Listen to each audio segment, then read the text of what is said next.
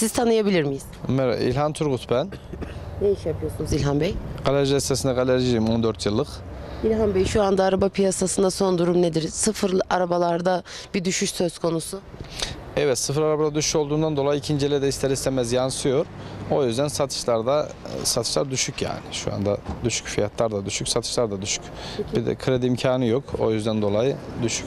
Vatandaşlarımızın alım gücü nasıl peki? Vatandaşlarımızın alım gücü şu anda 500 milyarla e, 1 milyon arasındaki olan araçlar satılıyor.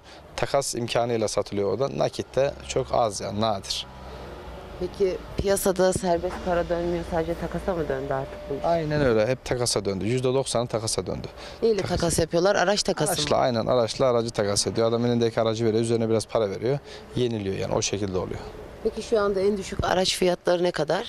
En düşük normal klimalı binilebilecek bir araç 400-500 bandında. Sezonlara bakarsak en kötü dönemini yaşıyor diyebilir miyiz ikinci el piyasası? Aynen öyle. Şu anda en kötü dönemini yaşıyor. Geçmiş dönemlere göre çok kötü bir dönemdeyiz yani. Peki bu sizi nasıl etkiliyor?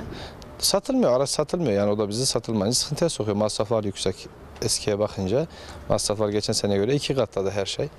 O yüzden biz ister istemez sıkıntıya sokuyor yani. Alım fırsatı ama millete para yok. Krediler kapalı olduğu için kimsenin gücü yok yani alım gücü yok.